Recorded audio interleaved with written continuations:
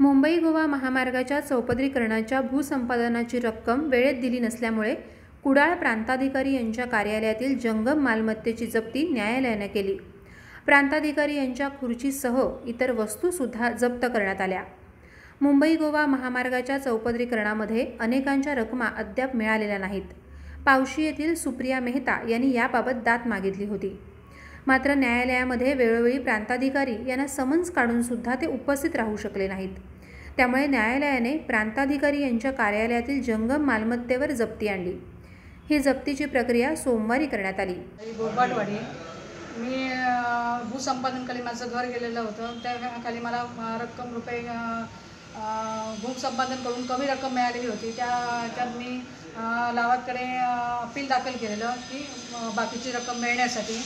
ती रक्कम मिळण्यासाठी माझं अपील मंजूर झालं. मंजूर झाल्यानंतर मला प्राण साहेबांना त्यांनी रक्कम अदा करावी असं आदेश केलेला. मग त्या आदेशाप्रमाणे मी एक वर्ष प्राणसाहेबांकडे येऊन येऊन जात होती की माझी रक्कम वाढी मिळालेली आहे ती मला तुम्ही परत करा. तर ते मला आज करतो उद्या करतो दोन दोन महिन्यानं मिळेल एक महिन्याने मिळेल आम्ही वर कळवलेलं आहे. असं म्हणून त्यांनी एक वर्ष जवळपास घालवलेलं आहे. गेल्या अठरामध्ये मी अपील दाखल केलेलं होतं. आणि अठरामध्येच माझं सतरामध्ये मी अपील दाखल केलं. अठरामध्ये माझं वीस तीन अठराला निकाल झालेला अपिलाचा. त्यानंतर मी एक वर्षभर यांच्याकडे येऊन जाऊन येऊन जाऊन राहिली. ते काही म्हणजे आज देऊ उद्या देऊया करायला लागले त्यानंतर मग मी जिल्हा कोर्टात दरखास्त दाखल केली वसुलीसाठी की माझे पैसे मला परत मिळावे म्हणून. जिल्हा कोर्टात तारखा बऱ्याच महिन्या महिन्या तारखा लागल्या. एकाही तारीखला प्रांत ऑफिसमधून कोणी हजर राहिलेलं नाही. त्यांच्या प्रतिनिधी सरकारी वकील हजर राहायच्या. ॲप्लिकेशनं द्यायचे अर्ज द्यायचे की आम्हाला एक मुदत द्या म्हणणं देण्यासाठी.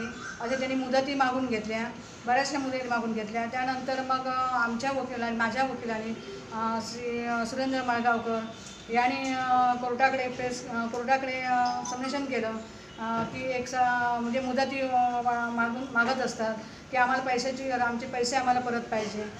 तर मग कोर्टाने त्यांना विचारणा केली की तुम्ही कधी हे करणार? तर त्यांनी पुन्हा आम्ही कळवलेलं आहे नॅशनल हायवे रेडीकडे की आम्हाला पैसे अदा करायचे आहेत सुप्रिया मेहता यांच्या दरखास्तीचे. तरी पण त्याने आम्हाला काही केलेलं नाही अजून त्यांच्याने. म्हणून आम्ही आम्हाला पुन्हा एक मुदत द्या असं त्यांच्यानी पाच सहा मुदती मागून घेतल्या. शेवटी मी आम्ही कोर्टाकडे जप्तीसाठी अर्ज केला मेहरबान कोर्टाकडे. जप्तीसाठी अर्ज केला तर मग मेहरबान कोर्टाने त्यांची म्हणणी मागितली. त्यांच्यानी चार म्हणणी दिली. चार मुदती घेतल्या. तरी काय त्यांच्यानी पैसे भरण्याचं काही नाव काढलेलं नाही. शेवटी कोर्टाने त्यांना विचारलं तुम्ही काय पैसे भरणार आहात की नाही भरणार आहात? मग त्यांच्या सरकारी वकील म्हणाले की साहेब त्याने मला काय भेटत वगैरे नाही काय सांगत नाही. माझ्याकडे काय पर्यंत आलेलं नाही आहे तर तुमचं तुम्हाला जे काय योग्य वाटेल ते तुम्ही आदेश करा. असं म्हणजे सरकारी वकिलांनी त्यांना सांगितलं. त्यानंतर निर्णय काय झाला? त्यानंतर मेहरबान कोर्टाने दोन तारीखला अं, दोन अं, दोन अं, जा दोन जानेवारीला वॉरंटचा आदेश केला की अं, जी काय रक्कम आहे ती अं, त्यांनी अं, भरावी. अं, नाहीतर जे काय को अं, स- सक्षम हे प्रांत अधिकारी साहेबांची जी काय अं, मालमत्ता आहे ती जप्त करावी.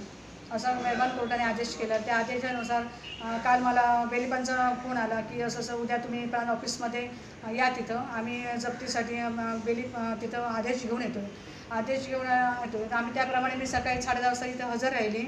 हजर राहिली आणि बेली कोर्टाचे मी नायब तहसीलदार मुसळे साहेबांच्या इथं गेलो. मुसळे साहेबांच्या इथं नायब तस- बेली म्हणाले हे आम्हाला कोर्टाचा आदेश आणलेला आहे. तुम्ही काय करणार आहे आदेशात तर ते म्हणाले तुम्हाला काय आदेश आहे? तर आम्हाला म्हटलं जप्ती करायचा आदेश आहे. तर तुम्ही काय करू तुमच्या आदेशाप्रमाणे काय ते तुम्ही करायला लागा.